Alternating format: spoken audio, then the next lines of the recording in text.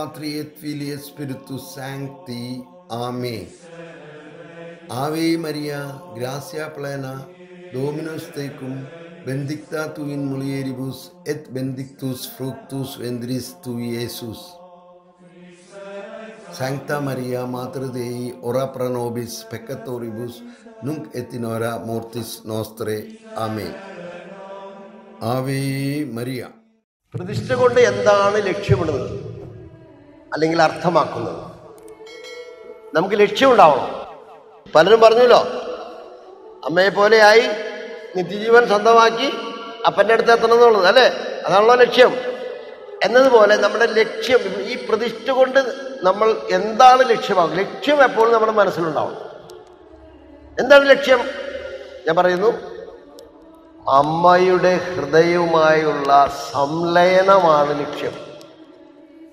The mystical union. അമ്മയുടെ ഹൃദയവുമായുള്ള സംലയനമാണ് നമ്മുടെ ലക്ഷ്യം. എത്ര പേർക്ക് താല്പര്യമുണ്ട് അമ്മയുടെ ഹൃദയം വേണമെന്ന്?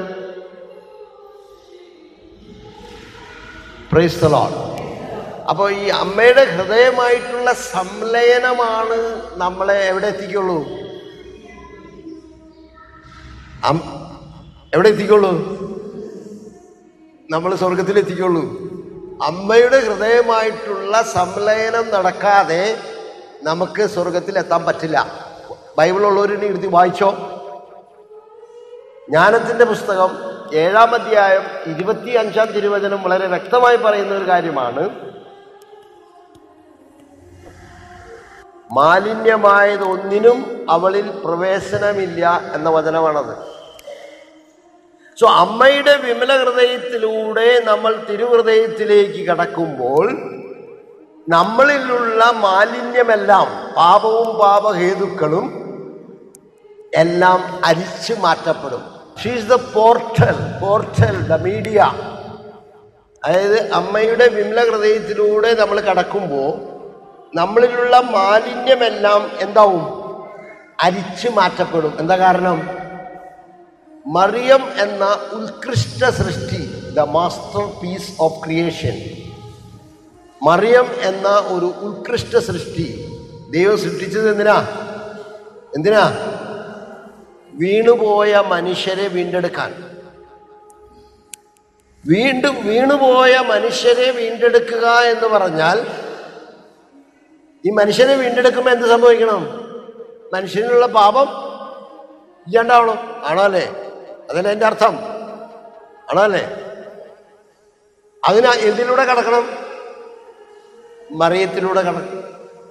അതുകൊണ്ടാണ് മറിയത്തെ ദൈവം എന്ത് ചെയ്തിരിക്കണേ? മറിയത്തിൽ എന്ത് കയറില്ല?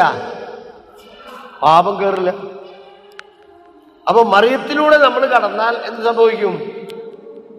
നമ്മളിലുള്ള പാപമെല്ലാം അരിച്ചു മാറ്റപ്പെടും. അതാണ് ഞാൻ പറഞ്ഞത് വിമലഹൃദയം സ്വന്തമാക്കാതെ സ്വർഗത്തിൽ കയറൽ നടക്കില്ല.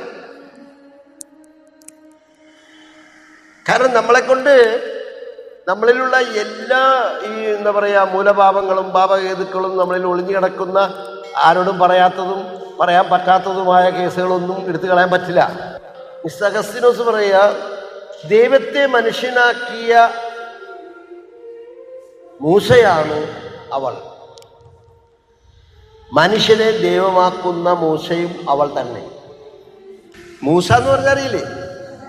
മൂസ എന്ന് പറഞ്ഞാൽ അച്ച് അച്ച് ഈ ദൈവത്തിന്റെ മനുഷ്യരൂപം കൊടുത്തത് എവിടെയാ? മറിയത്തിലാണോ അല്ലയോ? ആണോ അല്ലേ? ഞാൻ പറയുന്നത് അത്ര എളുപ്പമായിട്ടുള്ള കാര്യങ്ങളല്ല. അതുകൊണ്ട് നിങ്ങൾ കേൾക്കാതിരിക്കാൻ ശത്രു വളരെ ശക്തമായിട്ട് അവൻ പ്രവർത്തിക്കും. അപ്പൊ അതുകൊണ്ട് നമ്മൾ എന്ത് ചെയ്യണം?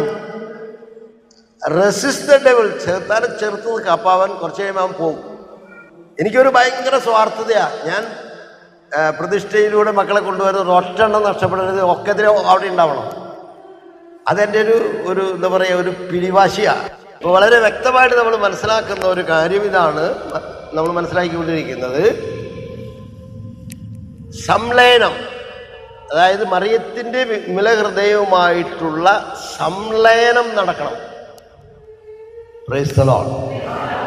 ഈ സംലയനമാണ് ഈ ഒരുക്ക ശുശ്രൂഷ കൊണ്ടും പ്രാർത്ഥ മുപ്പത്തിമൂന്ന് ദിവസത്തെ ഒരു പ്രാർത്ഥന കൊണ്ടൊക്കെ ലക്ഷ്യമിടുന്നത്.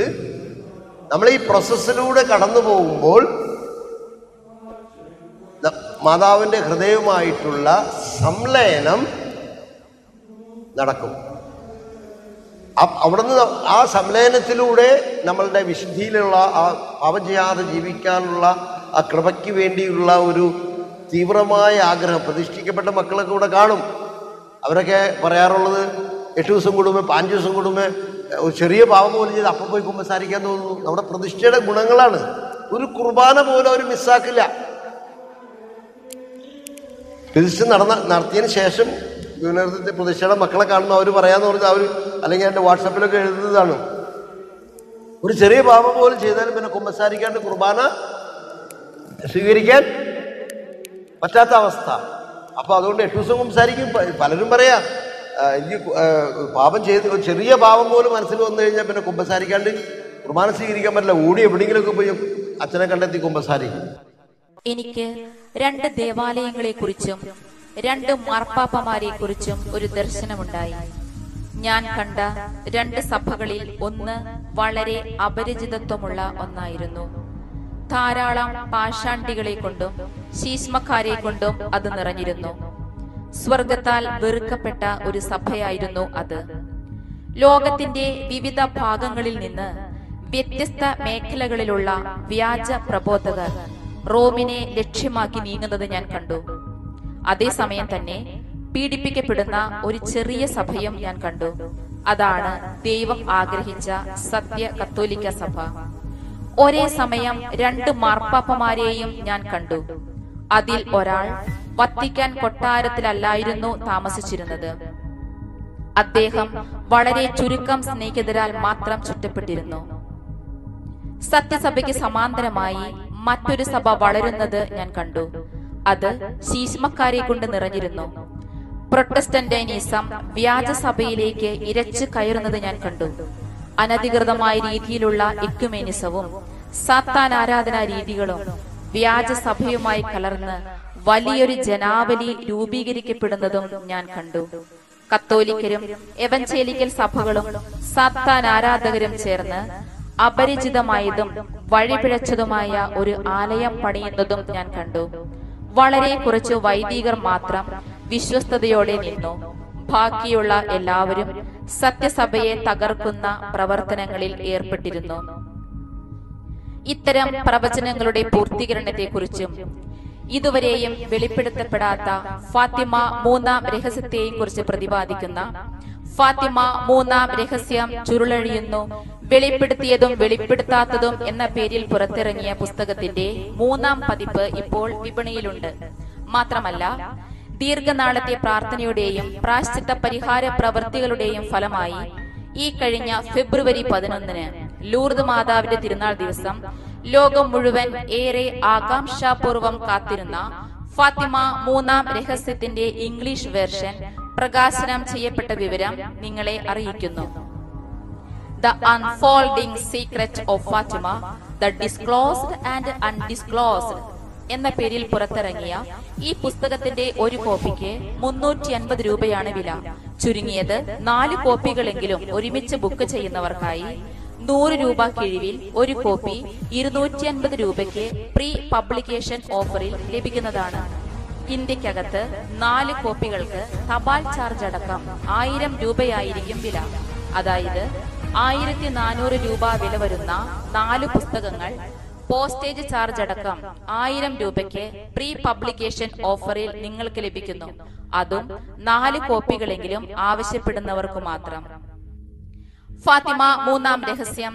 ജാതി മത ഭേദമന്യേ എല്ലാവരെയും അറിയിക്കണം എന്ന പരിശുദ്ധ ദൈവമാതാവിന്റെ ആഗ്രഹം നിറവേറ്റാനുള്ള ഈ യജ്ഞത്തിൽ പങ്കുചേരാൻ പ്രചോദനം ലഭിക്കുന്നവർ ഒൻപത് നാല് നാല് ഏഴ് ആറ് നാല് നാല് അഞ്ച് ഏഴ് ഏഴ് എന്ന വാട്സാപ്പ് നമ്പറിൽ നിങ്ങളുടെ അഡ്രസ്സും ആവശ്യമുള്ള കോപ്പികളുടെ എണ്ണവും വാട്സാപ്പ് മെസ്സേജായി പോസ്റ്റ് ചെയ്യുക. ഫോൺ വിളികൾ നിർബന്ധമായും ഒഴിവാക്കേണ്ടതാണ്. Ave Maria.